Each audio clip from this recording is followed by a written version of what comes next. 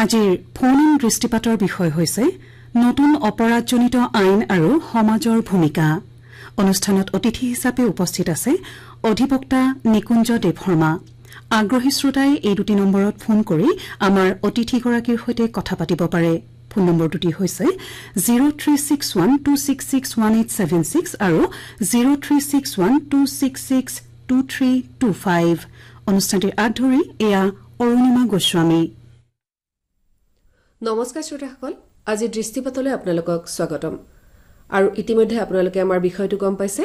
আজি দৃষ্টিপাতত নতুন ফৌজদাৰী আইন আৰু সমাজৰ ভূমিকা শীৰ্ষক আলোচনাৰ বাবে আমাৰ সৈতে আছে অধিবক্তা নিকুঞ্জ দেৱ শৰ্মা শৰ্মা আপোনাক আমাৰ অনুষ্ঠানলৈ আদৰিছো। হয় ধন্যবাদ। আৰু এক জুলাইৰ পৰা তিনিখন নতুন আইন কাৰ্যকৰী হ'ব সমগ্ৰ দেশজুৰি।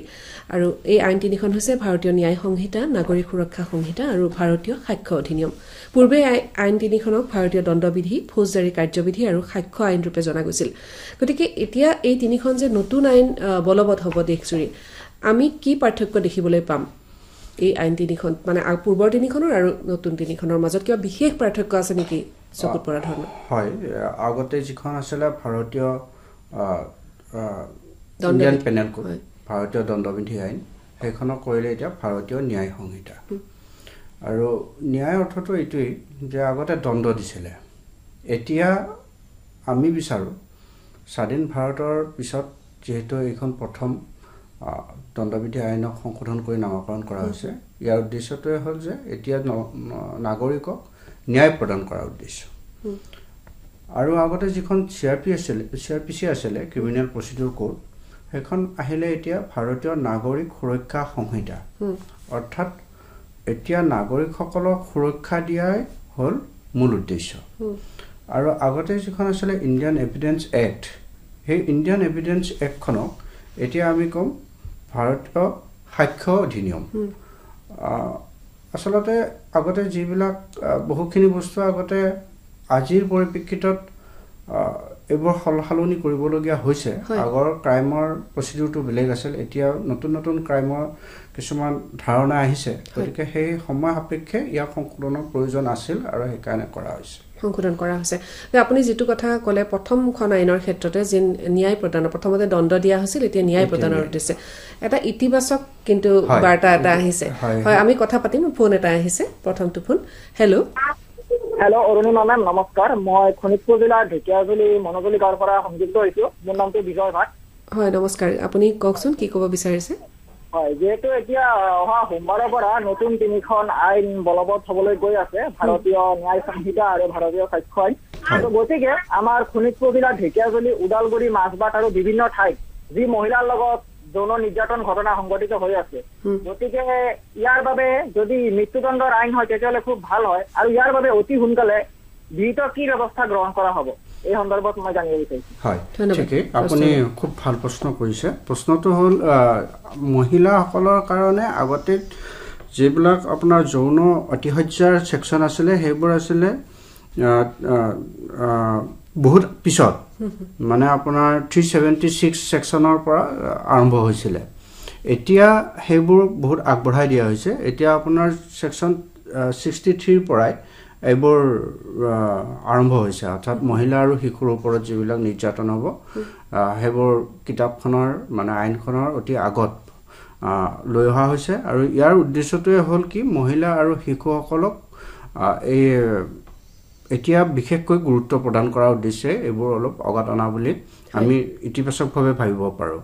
ইয়াৰ কথাটো হ'ল কি আগতে যিবোৰ আছিলে সময় সাপেক্ষে সেইবোৰ সংশোধন কৰা হৈছিলে আৰু পৰিস্থিতিৰ লগত খাপ খোৱাকৈ কৰা হৈছিলে। কিন্তু ইয়াৰ ৰেটটো ইমানেই লাহে লাহে বাঢ়িব ধৰিছে। তাৰ কাৰণে এইবোৰৰ পানিছমেণ্ট এতিয়া আপোনাৰ মিনিমাম আপোনাৰ দহ বছৰ আৰু আপোনাৰ লাইফ ইমপ্ৰিজনমেণ্টলৈকে আছে। গতিকে শাস্তিৰ ম্যাদো বঢ়োৱা হৈছে। শাস্তিৰ ম্যাদ যথেষ্টখিনি। বঢ়োৱা হৈছে আৰু ইনভেষ্টিগেশ্যন প্ৰচিডিউৰবিলাকো বহুত সাল সলনি কৰা হৈছে আৰু আশা কৰা যায় মানুহে ন্যায় পাব। ন্যায় পাব। আৰু যে ন্যায়ৰ কথাই আপুনি উল্লেখ কৰিছে প্ৰথমতে। যে শাস্তি দণ্ড নহয়। ন্যায় বিচাৰ কৰাটো প্ৰথম। উদ্দেশ্য আৰু সেইটোৱে হ'ব লাগে। আৰু দ্বিতীয়টো হৈছে যে অপৰাধ দূৰ কৰাৰ কথাটো। প্ৰথম নহয়। প্ৰথম কথাটো হৈছে নাগৰিকৰ সুৰক্ষা নিশ্চিত কৰা। গতিকে ইতিবাচক বাৰ্তা আমি আইনখনৰ নামত পাইছো যাতে বলবৎ হোৱাৰ পাছত বাকী কথাখিনিতো পাওঁ সেইটোৱে সকলোৱে আশা কৰিব।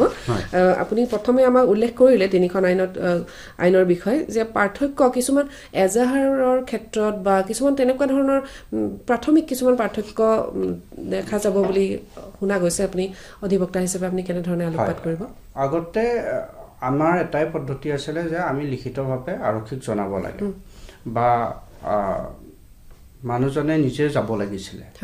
এতিয়া কথাটো হ'ল এতিয়া আপুনি নিজে থানালৈকে যাব নালাগে। বা আপুনি লিখিতভাৱেও দিব নালাগে। আপুনি মোবাইলত এটা হোৱাটছআপ কৰিলে সেইটোৱে যথেষ্ট। অৰ্থাৎ ইলেক্ট্ৰনিক মোডত আপুনি এফ আই আৰ দিব পাৰিব। সেইটোকে আপোনাৰ ফাৰ্ষ্ট ইনফৰ্মেশ্যন ৰিপৰ্ট হিচাপে ট্ৰিট কৰিব। আৰু ট্ৰিট কৰাৰ পাছত তেওঁলোকে ইনভেষ্টিগেশ্যন কৰি কেছটো আগবঢ়াই নিব। আৰু তেওঁলোকে এইটোও নহয় যে তেওঁলোকে ইমিডিয়েটলি সেইটো ৰেজিষ্টাৰ কৰিব। এফ আই আৰ ক্ষেত্ৰত আমাৰ আৰু এটা অন্য এটা প্ৰব্লেম আছিলে। সেইটো হ'ল কি আমি নিজৰ নিজস্ব জুৰিডিশ্যনত এফ আই আৰখন দিব লাগিছিল। এতিয়াৰ পৰা ধৰক আপোনাৰ কলকাতাত আপোনাৰ কিবা এটা ঘটনা ঘটিলে কলিকতাৰ মানুহে আপোনাৰ ঘটনাটো ঘটালে তাতে ঘটালে। আপুনি ঘৰলৈকে ঘূৰি আহিলে। আপুনি এতিয়া আকৌ কলিকতাত গৈ এফ আই আৰখন দিব নালাগে। আপুনি আপুনি ঘৰলৈ ঘূৰি আহি আপোনাৰ নিজৰ থানাখনত এফ আই আৰখন দি দিলে তেওঁলোকে এইটো প্ৰচিডিউৰটো ষ্টাৰ্ট কৰিব। ইনভেষ্টিগেশ্যন প্ৰচিডিউৰটো তেওঁলোকে এজ পাৰ ল তেওঁলোকে প্ৰচিড কৰিব। গতিকে আগতে আমি কিবা এটা ঘটনা সদায় দিল্লীত ধৰক আপোনাৰ দিল্লীৰ কোনোবা এজন মানুহে আপোনাৰ বেংকৰ পৰা পইচা উলিয়াই লৈ গুচি গ'ল। আপুনি দিল্লীত গৈতো এফ আই আৰ দিব নোৱাৰিছিলে। এতিয়া আপুনি ঘৰৰ ওচৰতে এফ আই আৰ এখন দি দিব আৰু পুলিচে সেইখন ৰিচিভ কৰিব ৰিচিভ কৰি সেইখন ফৰৱাৰ্ড কৰিব ৰেজিষ্টাৰ কৰিব আৰু ইনভেষ্টিগেশ্যন ষ্টাৰ্ট কৰিব। সেইটোক আমি আগতে জিৰ' এফ আই আৰ সেইবোৰ জিৰ' এফ আই আৰ বুলি কৈছিলে যে নিজৰ জুৰিডিশ্যনৰ বাহিৰত পুলিচে যে এফ আই আৰ ল'ব পাৰে আৰু তাক যে আগবঢ়াই নিব পাৰে সেই ব্যৱস্থাটো এতিয়া কৰা হৈছে। সেইটো লিখিত ৰূপত হয় গতিকে সুবিধা কৰা হৈছে। আইনৰ। সুবিধাখিনি লাভ কৰা কিছু সুচল হ'ব জনসাধাৰণৰ বাবে। যাৰ ফলত হয়তো ন্যায় লাভ কৰাটো সুচল হৈ আহিব লাহে লাহে। হয়। এই সামাজিক অপৰাধ ৰোধৰ ক্ষেত্ৰত সমাজততো বিভিন্ন ধৰণৰ অপৰাধ আছে। গতিকে সামাজিক যিবিলাক অপৰাধ সেইবিলাক ৰোধৰ ক্ষেত্ৰত কিমানখিনি কাৰ্যকৰী হ'ব বুলি আমি আশা কৰিব পাৰোঁ? সামাজিক ৰোধৰ ক্ষেত্ৰত আগতে চাপ'জ কিছুমান মৰেল পুলিচিং হৈছিলে। ঠিক। যিবিলাক মৰেল পুলিচিঙৰ কাৰণে বহুত মানুহৰ জীৱন অলৰেডি আমি হেৰুৱাবলগীয়া হৈছে। সৰু সৰু কথাতে এটা সাধাৰণ ঘটনাতে বহুত মানুহ আহি তেওঁৰ ওপৰত অত্যাচাৰ কৰিছিলে বা সেইটো দোষী হওক বা নিৰ্দোষী হওক তাৰ কোনো বিচাৰ কৰা নাছিলে। সেইবোৰৰ ক্ষেত্ৰত বিশেষকৈ আমাৰ আগৰ ইণ্ডিয়ান পেনেল কোৰ্টত সেইবোৰৰ কোনো লিখিত এনেকুৱাই যে হ'ব লাগিব তেনেকুৱা কোনো নাছিলে। যে মাৰ্ডাৰ থ্ৰী জিৰ' টুত আপোনাৰ ৰেজিষ্টাৰ কৰিছিলে। বা থ্ৰী টুৱেণ্টি ছিক্সত ৰেজিষ্টাৰ কৰিছিলে যদি মৃত্যু নহয় চাৰ্টত এতিয়া কি হ'ব এতিয়া ইয়াৰ কাৰণে বিশেষকৈ বেলেগ ছেকশ্যন এটা লৈ অহা হৈছে য'ত। নেকি আমি মব কিলিঙৰ ক্ষেত্ৰত আমি সেইটো আনিব পাৰোঁ। বি এন এছৰ আহিছে ছেকশ্যন ওৱান ওৱান ওৱান অৰ্থাৎ এশ এঘাৰ নম্বৰ ছেকশ্যনত আনিছে। আৰু এইটোত যদি পাঁচজনতকৈ অধিক মানুহে লগ হৈ কোনোবা মৰেল পুলিচিং কৰে বা অত্যাচাৰ কৰে বা মাৰপিট কৰে অথবা তেওঁ যদি কিবা কাৰণত মৃত্যুদণ্ড হয় সেই মানুহকেইজনৰ বিৰুদ্ধে এতিয়া অতি কঠোৰভাৱে এখন আইন অনা হৈছে আইনত অন্তৰ্ভুক্ত কৰা হৈছে। ইয়াৰ পানিছমেণ্ট লাইফ হ'ব পাৰে। আৰু পাঁচ লাখ টকালৈকে জৰিমনা হ'ব পাৰে। জৰিমনা হ'ব পাৰে। আমি এই বিষয়টো অত্যন্ত গুৰুত্বপূৰ্ণ পাতিম আমি। গতিকে মানুহখিনি অলপ সাৱধান হ'ব লাগে। যাতে। কিবা এটা ঘটনা হোৱাৰ লগে লগে পুলিচক খবৰ দিয়ে নিজে যাতে আইন হাতত তুলি নলয়। আমি ফোন এটা লৈ লৈছোঁ। হেল্ল' হেল্ল' নমস্কাৰ। নমস্কাৰ কোনে কৈছে? হয় মই মনোজে ক'লো বৰপেটা বাঘবৰৰ পৰা। হয় কওকচোন বাৰু। মোৰ এটা প্ৰশ্ন আছিলে মানে কি হয় এটা ধৰক মানে ন্যায় পোৱাৰ ক্ষেত্ৰত মানে কি হয় বহুত লেট হয়। মানে কি হয় কোৰ্টত অহা যোৱা কৰোঁতে কৰোঁতে ন্যায়কাৰীও মানে হাৰাশাস্তি হ'ব লগা হয় আৰু অপৰাধীও হাৰাশাস্তি মানে খাব লগা হয়। এতিয়া মই বিচাৰিছো তাৰমানে এই যিটো মানে ন্যায়ৰ ক্ষেত্ৰত মানে কিমান ক্ষীপ্ৰ গতিত মানে কামবোৰ হ'ব নেকি? মই এইটো জানিব বিচাৰিছো। ন ঠিকেই। আপুনি এইটো গুৰুত্বপূৰ্ণ কথা। এইখন আইনে ইতিমধ্যে কিছুমান টাইম পিৰিয়ড বান্ধি দিছে। যেনে আপুনি ধৰক আগতে এখন চাৰ্জশ্বিট ফাইল কৰ- কৰিব হ'লে কেতিয়াবা চাৰ্জশ্বিট ফাইল কৰোঁতে ইমানেই দেৰি হৈ যায় য'ত নেকি মানুহে বেল লৈ ওলাই গুচি যাব পাৰে। এতিয়া ইমান সহজতে বেল লৈ ওলাই যাব পৰা ব্যৱস্থাটো নাই। যদি তেওঁ সঁচাকৈ দুখী হয় তেতিয়াহ'লে তেওঁ সময়ত চাৰ্জশ্বিট দাখিল কৰিব লাগিব ত্ৰিছ দিন আপোনাৰ নব্বৈ দিনৰ ভিতৰত। আৰু তাৰপিছতে অতি কম দিনৰ ভিতৰতে তেওঁ কোৰ্টে সেইটো একচেপ্ট কৰি কপি প্ৰভাইড কৰিব আৰু কপি প্ৰভাইড কৰি কেছটো আগবঢ়াই নিব। ইয়াতে কিছুমান টাইম বান্ধি দিছে যে আপোনাৰ ত্ৰিছ দিনৰ ভিতৰত ষাঠি দিনৰ ভিতৰত নব্বৈ দিনৰ ভিতৰত এইখিনি এইখিনি ষ্টেপছটো কৰিব লাগিব। তেনেকৈ কিছুমান টাইম পিৰিয়ড বান্ধি দিয়া আছে আৰু সেই হিচাপে আমি আশা কৰোঁ যে মানুহে ন্যায় পোৱাত যথেষ্টখিনি ক্ষিপ্ৰতাৰে আগবঢ়াই নিব পাৰিব।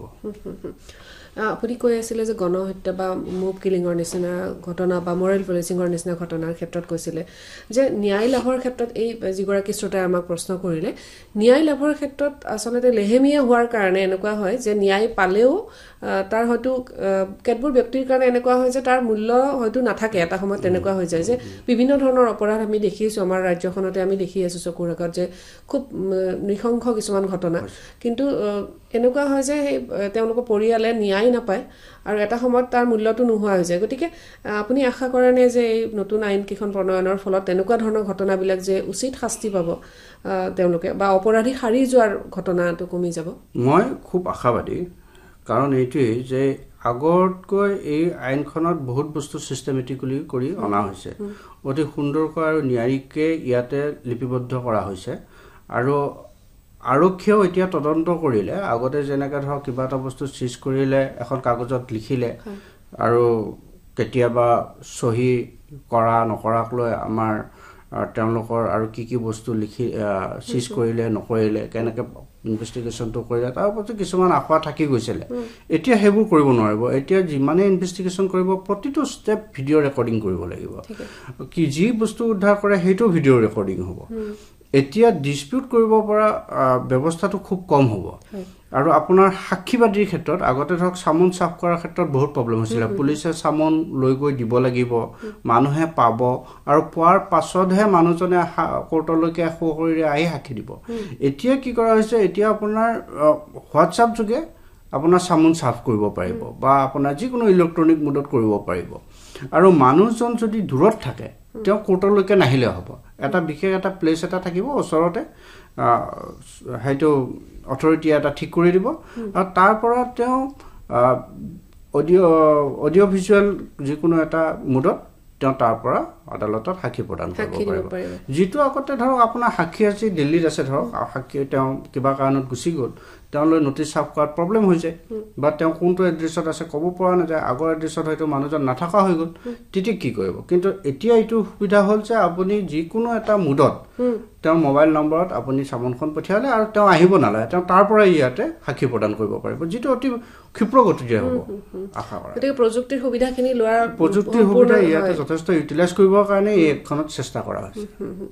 আৰু কিছুমান ক্ষেত্ৰত দেখা যায় যে বহু ক্ষেত্ৰতে দেখা যায় অপৰাধৰ ক্ষেত্ৰত যে আমি অসমতো এনেকুৱা ঘটনা দেখিছোঁ এনেকুৱা গোচৰ দেখিছোঁ মই উল্লেখ নকৰোঁ নামটো। যে এনেকুৱা হয় যে দীঘলীয়া চলি থাকে দীঘলীয়াকৈ চলি থাকে তাৰ পাছত হয়তো এনেকুৱা হয় বহু সাক্ষীয়ে কিন্তু তেওঁলোকে নিজৰ অসুৰক্ষিত বুলি অনুভৱ কৰি তেওঁলোকে সাক্ষ্য দিবলৈ নিবিচাৰে। এতিয়া আপুনি যিটো কৈছে যে এটা ডিষ্টেঞ্চত থাকি বা অকণমান দূৰত্বত থাকি তেওঁলোকে সাক্ষ্য দিব পাৰিব সেইটো হয়তো তেওঁলোকৰ সুৰক্ষাটো নিশ্চিত হ'ব নিশ্চিত হ'ব। মানে উইটনেছ প্ৰটেকশ্যনৰ ব্যৱস্থা ইয়াত ইয়াতে উল্লেখ কৰা হৈছে। উইটনেছ এজনক কিদৰে প্ৰটেকশ্যন কৰিব যে তেওঁ থিটেনিঙৰ পৰা তেওঁ কেতিয়াবা কিবা অসুবিধাৰ পৰা সেইটো কিন্তু অথৰিটিয়ে চাব লাগিব। আৰু সেই বস্তুটো ইয়াতে উইটনেছ প্ৰটেকশ্যনৰ কথাটো ইয়াত স্পষ্টভাৱে উল্লেখ কৰা আছে। আৰু যদি তেওঁ কিবা কাৰণত আহোঁতে ক'ৰবাত হয়তো তেওঁ ভয় কৰিব পাৰে আহি সৌসৰি আহি দিবলৈ ভয় কৰিব পাৰে। গতিকে এতিয়া যিবিলাক প্ৰযুক্তিৰ সুবিধাবিলাক ইয়াতে উল্লেখ কৰা হৈছে মই ভাবোঁ যে এতিয়া উইটনেছে সেইবোৰ অসুবিধা লাভ নকৰিব। সেইবোৰ অসুবিধা মানে তেওঁলোকে এটলিষ্ট মুক্ত হ'ব। নিশ্চয়। সাক্ষীৰ নিৰাপত্তা নিশ্চিত কৰাটো গুৰুত্বপূৰ্ণ। আৰু এইখিনিতে আৰু এটা কথা আপোনাক সুধিবলৈ মন গৈছে যে আমাৰ অজস্ৰ গোচৰ বিবেচনাধীন হৈ আছে ভাৰতত যিহেতু। গতিকে সেই বিবেচনাধীন যিসমূহ গোচৰ আছে পুৰণি অপৰাধ কেতবোৰ সেই অপৰাধসমূহৰ বিবেচনাৰ ক্ষেত্ৰত ন্যায় বিচাৰৰ ক্ষেত্ৰত কেনে নতুন হয়, আইনৰ হয়, মতে হয়। হ'ব নে পুৰণি আইনৰ মতে হ'ব? একচুৱেলি এইখন আমাৰ এক তাৰিখৰ পৰা প্ৰযোজ্য হ'ব। অৰ্থাৎ এক তাৰিখে যিখিনি ঘটনা ঘটিব সেই ঘটনাখিনিহে এই এক্টৰ আণ্ডাৰত এতিয়া আৰম্ভ হ'ব। আৰু বাকী যিখিনি ইতিমধ্যে পেণ্ডিং হৈ আছে আৰু যি ধৰক আপুনি পৰহি দুই তাৰিখে এখন এফ আই আৰ দিলে কিন্তু ঘটনাটো আপোনাৰ ধৰক জুন মাহত হৈছে। জুন মাহৰ ঊনত্ৰিছ তাৰিখে হৈছে। কিন্তু তেতিয়াও ঘটনাটো যিদিনাখন হৈছে সেইদিনাখন কিন্তু সেই পুৰণি এক্টৰ মতেই হ'ব। এক তাৰিখৰ পাছত যি ঘটনা হ'ব সেইবিলাকহে এই নতুন এক্টৰ আণ্ডাৰত হ'ব। অৰ্থাৎ এতিয়া আপোনাৰ তিনি চাৰি বছৰ দুয়োখন এক্ট সমানে চলি গৈ থাকিব। আৰু কিন্তু কিছুমান ক্ষেত্ৰত কিছুমান খুব নৃশংস যিবিলাক ঘটনা থাকে সেইবোৰৰ ক্ষেত্ৰত যদি অকণমান আগৰ কিছুমান যেতিয়া ধাৰা শক্তিশালী নাছিলে সিমান হয়তো এই ধাৰা মতে পোৱাটো উচিত।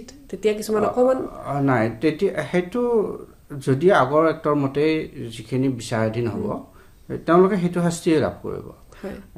তেনেকে ধৰক এইখন এক্টৰ আণ্ডাৰত শাস্তিটো দিব নোৱাৰিব। দিব পৰা নাযাব। হয়। গতিকে আইনখন যেতিয়া কাৰ্যকৰী হ'ব তিনিখন আইন কাৰ্যকৰী কৰাৰ ক্ষেত্ৰত বা সফলভাৱে বলবৎ কৰাৰ ক্ষেত্ৰত এখন সমাজৰো নিশ্চয় ভূমিকা থাকিব। কাৰণ সমাজে অভিভাৱক কিছুমান ক্ষেত্ৰত। এনে সমাজৰ ভূমিকা কেনেধৰণৰ হ'ব সফল কৰাৰ ক্ষেত্ৰত আমি যাতে আইনৰ সুবিধাখিনি লাভ কৰিব পাৰোঁ। আটাইতকৈ ডাঙৰ কথাটো হ'ল কি আমাৰ সাধাৰণ নাগৰিকে আইনৰ ক্ষেত্ৰত বহু ক্ষেত্ৰত অজ্ঞ হৈ থাকে। অজ্ঞ হোৱাৰ ফলতে আমাৰ ক্ৰাইমবিলাক বেছি হয়। আৰু আগত কি হৈছিলে মানে ব্ৰিটিছ পিৰিয়ডতো আইনখন সাধাৰণ জনতাক জানিব দিয়া হোৱা নাছিলে। ব্ৰিটিছসকলে তেওঁলোকৰ নিজৰ সপক্ষে আইনখন ৰাখি থৈ দিছিলে। সেইকাৰণে সাধাৰণ জনতাই আইনৰ ভূটো গম পোৱা নাছিলে। কিন্তু লাহে লাহে এতিয়া এতিয়া আমাৰ যিহেতু আমি সকলোৱে স্বাধীন দেশৰ নাগৰিক গতিকে আমি স্বাধীন দেশখনত আমি কেনেধৰণে আইন বনাইছোঁ আমাৰ কেনেধৰণে বিধান পালিকাই আমাৰ হাতত এখন আইন তুলি দিছে আৰু ভাৰতীয় ন্যায়পালিকাই কিভাৱে ইয়াক ৰক্ষণাবেক্ষণা দিছে সকলোখিনি কিন্তু মানুহে খবৰ ৰাখে। আৰু ৰখাটো অতি প্ৰয়োজনীয়। গতিকে গাঁৱে ভূঞে য'তেই নহওক আমাৰ লিগেল এৱাৰনেছ কেম্পবিলাকো অতি জৰুৰী আৰু ইতিমধ্যে কৰিও আছে। চৰকাৰে বিভিন্ন ধৰণে লিগেল এৱাৰনেছ কেম্পবিলাক কৰি আছে যাতে সাধাৰণ জনতাই আইনৰ বিষয়ে কিছু কথা গম পায়। এটলিষ্ট কমন কথাখিনি। এতিয়া মই এটা সৰু উদাহৰণ দিওঁ। ধৰক আপুনি বাইক এখন চলাই যাওঁতে আপুনি হেলমেটটো পিন্ধিব লাগে। কিন্তু অথৰিটিয়ে এই কথাটো ক'ব নালাগে যে এতিয়াও আজিৰ তাৰিখত আমি আমাক ক'ব লাগে যে তুমি হেলমেটটো পিন্ধা। হেলমেটটো নিজৰ সুৰক্ষাৰ বস্তু। আৰু এইটো এটা আইন ভংগকাৰী কথা। হেলমেটটো যদি নিপিন্ধে নিজৰ কাৰণে ক্ষতি। আপোনাৰ ইঞ্চুৰেঞ্চ পলিচিখন আপোনাক লাগে এইটো আইন ভংগৰ কথা। কিন্তু সেইটো অথৰিটিয়ে আপোনাক ক'ব নালাগে যে ইঞ্চুৰেঞ্চ পলিচিটো থাকিলে কিবা কাৰণত কিবা এক্সিডেণ্ট হ'লে আপোনাৰ পৰিয়ালটো বাচিব। আপোনাৰ সেইটো পৰিয়ালে ক্ষতিপূৰণ পাব। সেই কথাবোৰ এতিয়াও যেতিয়া আমি সাধাৰণ জনতাক ক'ব লাগে এইটো মানে এটা দুৰ্ভাগ্যৰ কথা যে আচলতে এইবোৰ অথৰিটিয়ে ক'বলগীয়া কথাই নহয়। নিজে জনা কথা এইবোৰ। ঠিকে গতিকে সেই সচেতনতাখিনি আমাৰ অত্যন্ত জৰুৰী। কাৰণ কিয় যদি আমি নিজে নাজানো যে আমাক আচলতে এটা কথা হয় কেতিয়াবা এনেকুৱা হয় যে আমি অপৰাধ এটা হৈ থাকিলে আমাৰ ক্ষেত্ৰত আমি সেইটোৱে বুজি নাপাওঁ। যে মোৰ মোৰ লগত এইটো অপৰাধ সংঘটিত হৈছে। সেইটোৱে কিন্তু আমি কেতিয়াবা বুজি নাপাওঁ। যে এইখিনি সময়ত আমি আইনী সুবিধা ল'ব লাগে। সেইটো এটা বৰ ডাঙৰ কথা। আৰু জনসাধাৰণক সেইখিনি কথা আচলতে তেওঁলোকক জনোৱাটোও বহুত জৰুৰী আৰু তেওঁলোকৰ ভাষাত জনোৱাটো। সেইটো কথা অত্যন্ত গুৰুত্বপূৰ্ণ। আৰু আপোনাক এইখিনিতে আৰু সুধিব বিচাৰিছোঁ যে শিশু আৰু মহিলা মহিলাৰ বাবে নতুন আইন তিনিখনত বিশেষ ব্যৱস্থা ৰখা হৈছে বুলি আমি গম পাইছোঁ। গতিকে শিশু মহিলাৰ বাবে কেনেধৰণৰ তেওঁলোকৰ সুৰক্ষাৰ ক্ষেত্ৰত কেনেধৰণৰ ব্যৱস্থাবিলাক এতিয়া চাওক আপোনাৰ যদি শিশু হয় শিশু হ'লে তেতিয়াহ'লে মানুহজন থানালৈকে যাব নালাগে। এতিয়া নতুন এক্টত আনিছে। ষোল্ল বছৰৰ তলৰ কোনো শিশু থানালৈকে নিব নোৱাৰিব। নিব নোৱাৰিব তেওঁক পুলিচে নিজে ঘৰত আহিব আহি তেওঁক সোধ পোছ কৰিব কি হৈছিলে কি হোৱা নাই পুলিচ নিজে ঘৰলৈ আহিব।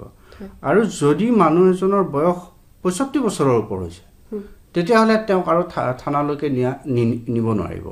আৰু বাকী যিখিনি আছে যে মহিলা আৰু শিশুৰ ক্ষেত্ৰত যে আপুনি সন্ধিয়াৰ পাছত আপুনি থানালৈকে নিব নোৱাৰিব মহিলা হ'লেও বা আপুনি সোধ পোছৰ নামত তেওঁক ৰখাব নোৱাৰিব সূৰ্য উদয় আৰু সূৰ্য অস্ত্ৰ সেই সময়খিনিৰ ভিতৰত অৰ্থাৎ নিশা নিশা ভাগত কোনো মহিলাক থানালৈকে আৰক্ষীয়ে নিব নোৱাৰিব। এই যিখিনি আছে সেইখিনি আগতেও আছিলে আৰু এতিয়াও প্ৰযোজ্য হৈ আছে সেইখিনি। আৰু মহিলা আৰু শিশুৰ ক্ষেত্ৰত বহুতখিনি গুৰুত্ব দিয়া হৈছে। আৰু আশা কৰোঁ এই মানুহখিনিয়ে আমাৰ যিখিনি সাধাৰণ মহিলা আৰু পুৰুষ নাগৰিকে ন্যায় লাভ কৰিব। ন্যায় লাভ কৰিব। এতিয়া মহিলাৰ বিৰুদ্ধে বিভিন্ন ধৰণৰ অপৰাধ হয় আৰু অপৰাধ যথেষ্ট বৃদ্ধিও পাইছে অপৰাধবিলাক। আৰু বিশেষকৈ আমি যিটো কথা কৈছোঁ যে প্ৰযুক্তিৰ সহায় লোৱা হ'ব অপৰাধ ৰোধ কৰাৰ ক্ষেত্ৰত প্ৰযুক্তিৰ কাৰণে কিন্তু কিছুমান অপৰাধ আৰু বেছি হৈছে।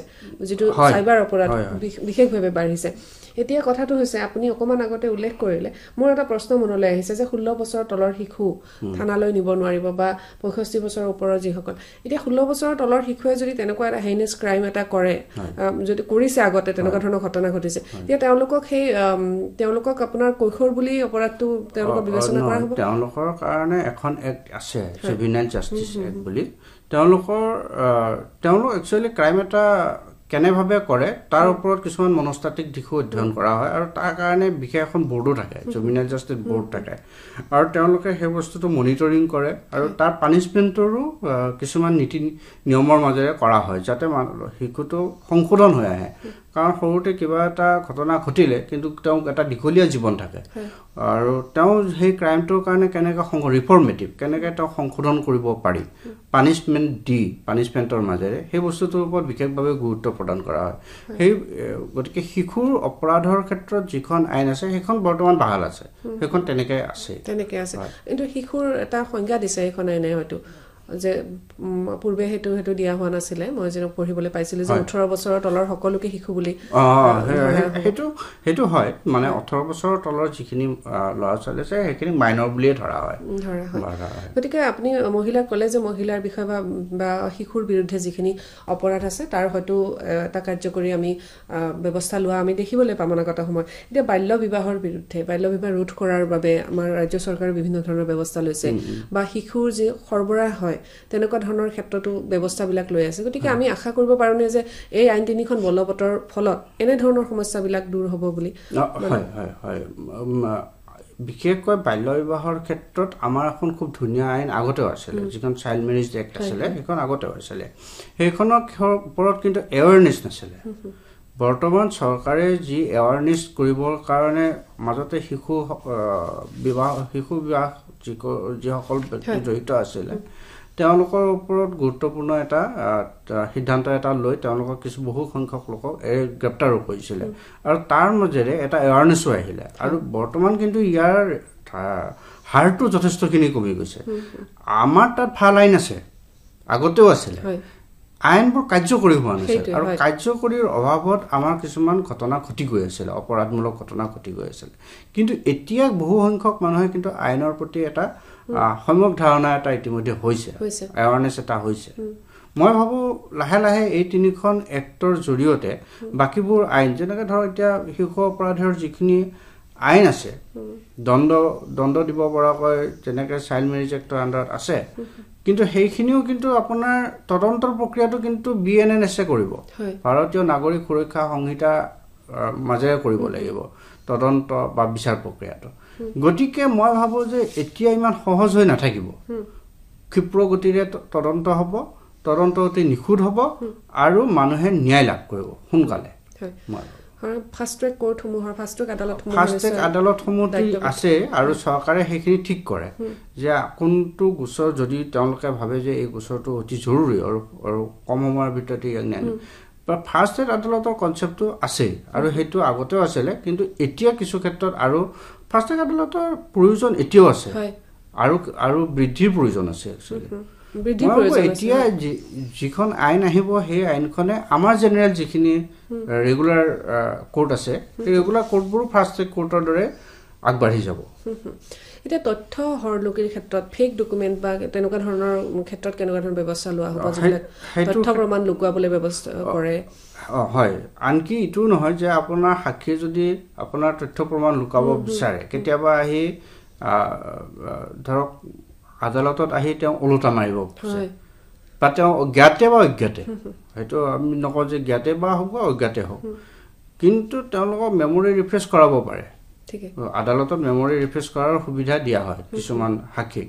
গতিকে তাৰপিছতো যদি তেওঁলোকে তথ্য প্ৰমাণ লগাব তেতিয়া কিন্তু ক্ৰিমিনেল প্ৰচিডিং তেওঁৰ এগেইনষ্টত আদালতে। ষ্টাৰ্ট কৰিব পাৰে। যদিহে তেওঁ ইণ্টেনশ্যনেলি কৰে। আৰু যদি তেওঁ ইণ্টেনশ্যনেল নাথাকে বা পাহৰে সেইটো বেলেগ কথা। কিন্তু কিছুমান যদি তথ্য প্ৰমাণ তেওঁ সাক্ষী হিচাপে তেওঁ যদি লুকাব বিচাৰে তেওঁৰ এগেইনষ্টত কিন্তু ক্ৰিমিনেল প্ৰচিডিং কোৰ্ট একশ্যন লোৱা হ'ব। একশ্যন ল'ব একশ্যন লোৱা হ'ব। গতিকে আৰু সাক্ষ্যৰ ক্ষেত্ৰত আৰু সাক্ষ্য গ্ৰহণৰ ক্ষেত্ৰত কিছু নতুনত্ব দেখা যাব এইবাৰ। হয় মানে কি বিশেষকৈ সাক্ষ্যৰ আগৰ যিখন আইন আছিলে ইণ্ডিয়ান এভিডেঞ্চ এক্ট এতিয়া ভাৰতীয় সাক্ষ্য অধিনিয়ম আহিলে তাত মানে কি হ'ল আমাৰ সময়ৰ লগে লগে কিছুমান ধৰক এতিয়া মোবাইলত মোবাইল এছ এম এছ আৰু আপোনাৰ ধৰক ফটো এই যিবিলাক বস্তু আছিলে আগতে এইবিলাক ক্ৰাইম ৰিলেটেড ধৰক কিবা এটা অমুকত ঘটনা এটা ঘটাবলৈ মেছেজ এটা পঠিয়াই দিলে তাতে এটা ঘটনা ঘটি আহিলে এটা অৰ্গেনাইজলি এটা তেওঁলোকে কাম কৰিছিলে অপৰাধমূলক কামবিলাক। আৰু কেতিয়াবা উচতনি দিয়ে। এই যিবিলাক অপৰাধমূলক যিবিলাক মেছেজ থাকিব সেইবোৰ আগতে প্ৰমাণ কৰাটো খুব টান আছিলে। আৰু সাক্ষী সাক্ষীয়ে সেইবোৰ প্ৰমাণ কৰিব হ'লে বিভিন্ন ধৰণৰ এইবোৰ প্ৰাইমাৰী এভিডেঞ্চ বুলি ধৰা নাছিলে। তেওঁলোকৰ ছিষ্টেম আছিলে ফেচবুক অথৰিটিলৈ লিখিব। ফেচবুক অথৰিটিয়ে তাৰ ক'ব যে এইটো হয় নে নহয় প্ৰকৃত তথ্য হয় নে নহয় নে এডিটিং হয় কিবা হয় এইবিলাক তেওঁলোকে ক্লিয়াৰ কৰিব লাগিব। এতিয়া বস্তুবিলাক হ'ল কি আপুনি ক'ৰবাত এটা এছ এম এছ পাইছে আপোনাৰ মোবাইলৰ পৰা এৰিছে বা যাৰ মোবাইলৰ পৰা নেৰক কিন্তু কাৰোবাৰ মোবাইলত পালেই হ'ল সেইটো প্ৰাথমিক তথ্য হিচাপে ট্ৰিট কৰা হ'ব। গ্ৰহণ কৰা এতিয়া যিহেতু আমাৰ খুব সময় তাকৰ আমি শেষত আমি শ্ৰোতাসকলৰ বাবে শ্ৰোতাসকলৰ হৈয়ে আপোনাৰ পৰা এটা কথা জানিব বিচাৰিছোঁ যে আপুনি তেওঁলোকক কি ক'ব বিচাৰিছে? যে যিহেতু নতুন আইন হ'ব আৰু আপুনি ক'লে যে যথেষ্ট সুচল হ'ব আমাৰ বাবে আমি আইনৰ সেৱা লাভ কৰাটো সুচল হ'ব আমি কি ধৰণে আমি শ্ৰোতাসকলে বা আইনী সুবিধা কি ধৰণে ল'ব লাগিব? আচলতে আমাৰ ভাৰতৰ ভাৰতীয় আইনখন সময় সাপেক্ষে সলনি হৈয়ে আছিলে। কিন্তু সময়ৰ লগে লগে ইয়াক পৰিৱৰ্তিত সময়ত ইয়াক এইখিনিলৈকে উন্নত কৰাৰ খুব জৰুৰী আছিলে। exemplo. আৰু ইয়াক জৰুৰী কাৰণে ইয়াক উন্নতকৰণ কৰা হৈছে। এতিয়া মানুহে কি কৰিব লাগে যিকোনো এটা ঘটনা হোৱাৰ লগে লগে কোনো ভয় নোহোৱাকৈ তেওঁলোকে আৰক্ষীক মোবাইল যোগে হ'লেও জনাব লাগে ঘটনাটোৰ বিষয়ে। আৰু যাতে ক'ৰবাত কিবা অপৰাধ দেখিলে মানুহে নিজে হাতত আইন তুলি নলয় আৰু আইন তুলি লৈ এজন মানুহে লোৱাৰ লগে আনে সেইটো সহযোগ। কৰাৰ লগে লগে মব কিলিঙৰ দৰে ঘটনা হ'ব পাৰে। মানুহ এজনৰ হয়তো জীৱন যাব পাৰে। গতিকে অতি সাৱধান হ'ব লাগে। এতিয়া কিন্তু সেইবোৰ কৰিব গ'লে কিন্তু তেওঁ লাইফ ইমপ্ৰিজনমেণ্ট হ'ব। পাঁচ লাখ টকালৈ জৰিমনা হ'ব। আপুনি ইতিমধ্যে উল্লেখ গতিকে নিজৰ আনক আনৰ মৰেলি মৰেল পুলিচ কৰিবলৈ গৈ নিজৰ ঘৰ নিজৰ নিজে জেলত থাকিব লাগিব। ঠিকে খুব সুন্দৰকৈ আপুনি বুজাই কৈছে শ্ৰোতাসকলৰ নিশ্চয় সহায় হ'ব তেওঁলোক উপকৃত হ'ব। আজিৰ অনুষ্ঠান আমি ইমানতে সামৰিবলৈ লাগিব। আমাৰ সহযোগী অপূৰ্ব মালিক ধন্যবাদ জনাই। এই অনুষ্ঠান ইমানতে সামৰিছোঁ। ধন্যবাদ। ধন্যবাদ। ইমান